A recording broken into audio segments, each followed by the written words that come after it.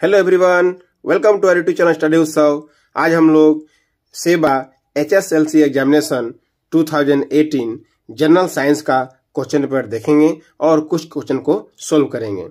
तो इस question paper में कुछ ऐसे क्वेश्चन हैं जो वेरी वेरी इंपॉर्टेंट हैं बोर्ड एग्ज़ाम 2022 के लिए। तो चलिए इस क्वेश्चन पेपर को देखते हैं और कुछ क्वेश्चन को सोल्व करते हैं। यदि आप इस चैनल पर नए हैं या अभी तक इस चैनल को सब्सक्राइब नहीं किए हैं तो प्लीज़ इस चैनल को सब्सक्राइब कर लीजिएगा और बेल आइकन को भी प्रेस कर लीजिएगा ताकि इस तरह का इम्पोर्टेंट वीडियो मैं अपलोड करूँ तो उसका नोटिफिकेशन आपको मिलता रहे और हर इम्पोर्टेंट वीडियो को आप देख सकें। तो चलिए, हम लोग आज का वीडियो स्टार्ट करते हैं। देखिए, ग्रुप ए में टेन क्वेश्चन आते हैं वन मार्क के, ठीक है? सो टेन क्वेश्चन क्या होते हैं? एमसीक्यू होते हैं। तो पहला क्वेश्चन देखिए क्या लिखा हुआ है? F E two O three plus two L becomes L two O three plus two F E the above reaction is an example of देखिए, इस रिएक्शन में क्या हो रहा है? यह एल्यूमिनियम जो है ई से मोर रिएक्टिव है।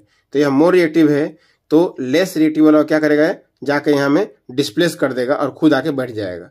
ठीक है? तो एल्यूमिनियम यहाँ बैठ गया है और एफ़ क्या हो गया? यहाँ से चला गया, अकेला हो गया है। दैट मीन्स एल्यूमिनियम ने क्या किया? एफ़ को डिस्प्लेस कर दिया। सो इसका आंसर क्या हो जाएगा? आंसर हो जाएगा D displacement reaction question number two देखिए food cans are coated with tin and not with zinc because इसका आंसर होगा C zinc is more reactive than tin ठीक है? मीन्स टीन से ज़्यादा रिएक्टिव होता है जिंक इसलिए जिंक का यूज़ नहीं किया जाता है। अगर जिंक का यूज़ किया जाए फ़ूड कैंस में तो क्या होगा वो? वह रिएक्शन करके कुछ टॉक्सिक पदार्थ बनाएगा, जो हमारे हेल्थ के लिए क्या होगा? हानिकारक होगा। इसलिए जिंक यूज़ नहीं किया जाता है। क्या यूज़ किया टीन यूज़ किया जाता है। So our answer is zinc is more reactive than tin. Question number three a solution turns red litmus blue its pH is likely to be एक सोल्यूशन जो है, वह रेड लिटमस को blue बना देता है। तो उसका पीएच वैल्यू क्या होगा? तो इसका आंसर होगा डी टेन क्योंकि हम लोग जानते हैं जो पीएच स्केल होता है, पीएच, उसमें सेवन क्या होता है? न्यूट्रल। और सेवन से अगर ज़्यादा होगा तो उसको बोलते हैं हम लोग बेस। मीन्स सेवन से ज़्यादा कुछ भी हो सकता है, eight, nine, ten, eleven, twelve, thirteen, fourteen. यह हो गया बेस। और सेवन न्यूट्रल होता है, और सेवन से जो कम होगा, वह क्या होता है? एसिड। सेवन से कम means six, five, four three two one zero ये सब क्या हो गया? एसिड हो गया। सो इसका जो रेंज होता है क्या होता है? ज़ीरो से फोर्टीन तक होता है। ज़ीरो से फोर्टीन तक होता है। सेवन न्यूट्रल और सेवन से ज़्यादा होने से बेस और सेवन से कम होने से एसिड।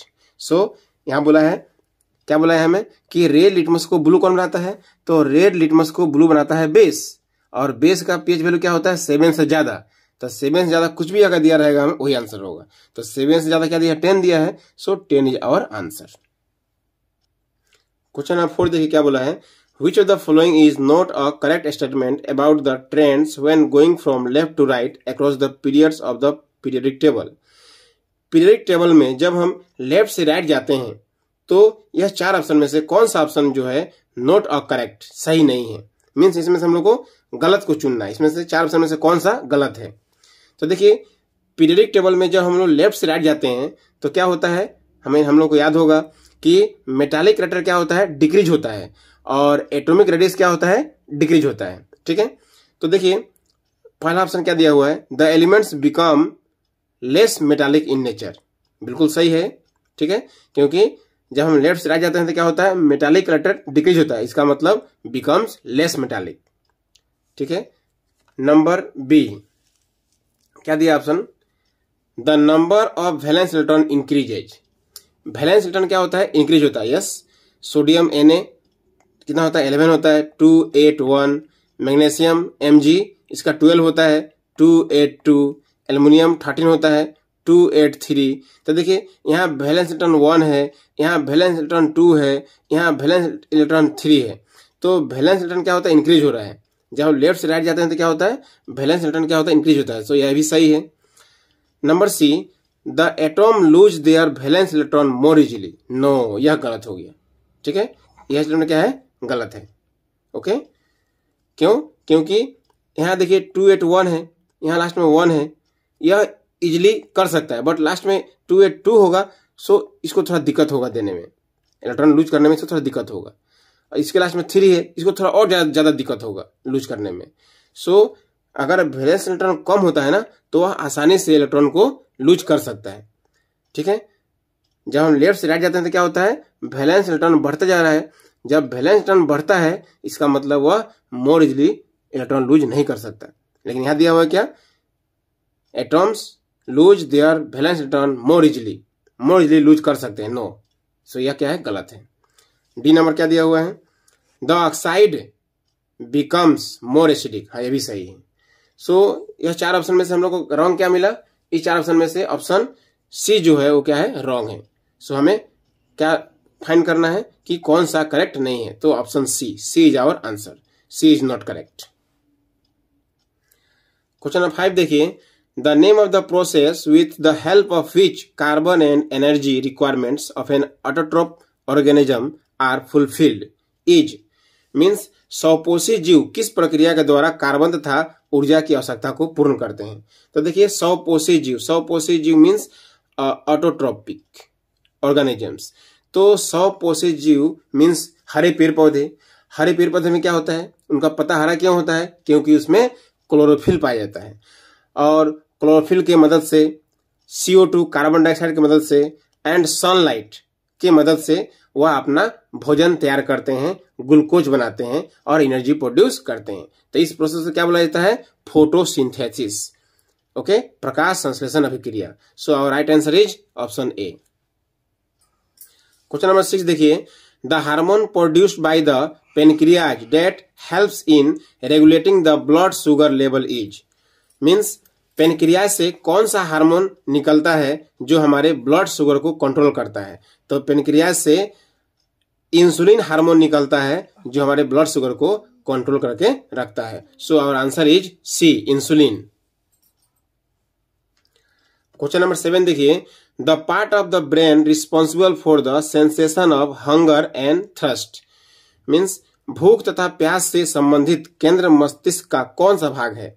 मीन्स भूख और प्यास को यह कौन सा मस्तिष्क का कौन सा पार्ट है जिसको भूख और प्यास महसूस होता है? तो the central part of brain brain का जो सेंट्रल पार्ट है, वो क्या होता है? Hypothalamus so hypothalamus D is the right answer question number eight यह सिलेबस में नहीं है। बोर्ड एग्ज़ाम 2022 के लिए, क्योंकि रिड्यूस सिलेबस में इसे हटा दिया गया है। Question number nine which of the following is not derive from the energy of the sun यह चार ऑप्शन में से कौन सा ऑप्शन है जो सन के एनर्जी से डिराइव नहीं किया गया है? तो आंसर होगा बी, न्यूक्लियर एनर्जी। अब देखते हैं next question question number ten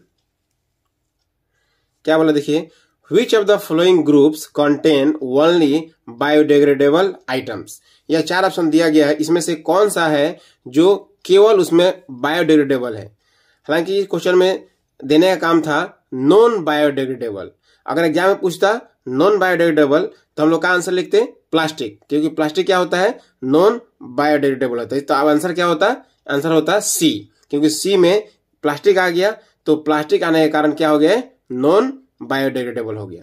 but यहाँ क्वेश्चन पूछा है क्या? ओनली बायोडिग्रेडेबल तो इसमें ए भी सही है बी भी सही है और डी भी सही है।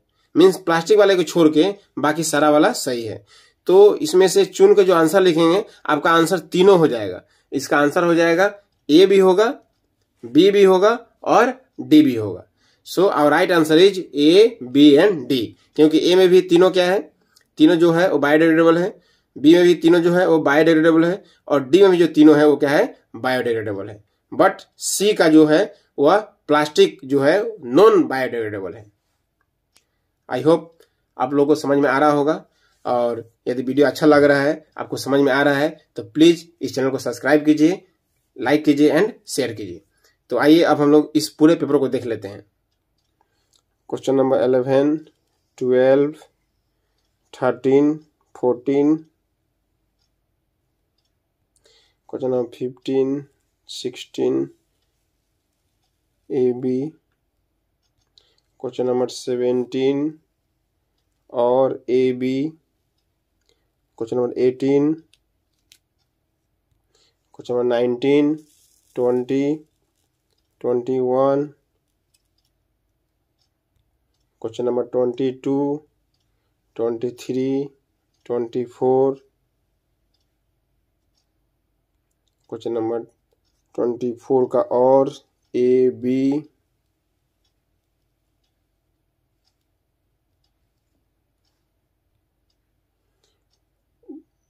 ट्वेंटी फाइव और twenty six twenty seven twenty seven का और ट्वेंटी एट ट्वेंटी एट का और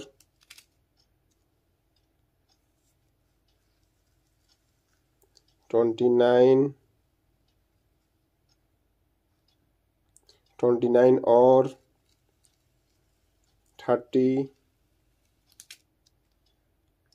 thirty one thirty two A thirty two B thirty two C thirty two का, और का A B C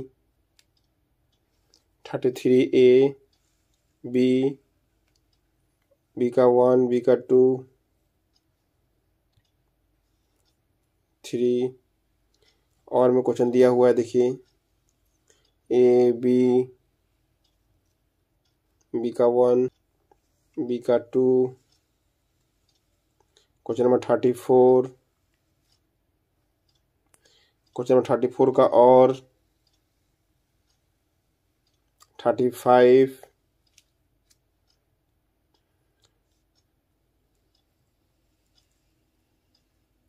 thirty five का और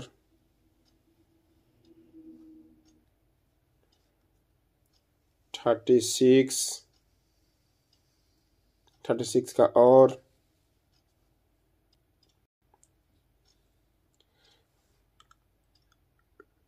आई होप यह वीडियो आप लोगों के लिए यूजफुल होगा।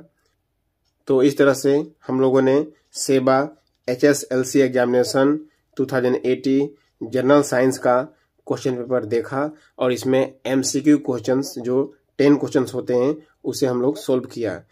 और यदि आप चाहते हैं कि बाकी सारे क्वेश्चन को भी सोल्यूशन मैं कर दूँ तो प्लीज़ कमेंट कीजिएगा। मैं आपके कमेंट का इंतज़ार करूँगा। अगर आप कमेंट करते हैं तो आपके कमेंट को देखकर मैं इस पूरे पेपर को स्टेप बाय स्टेप पूरा समझा कर सोल्व कर दूँगा।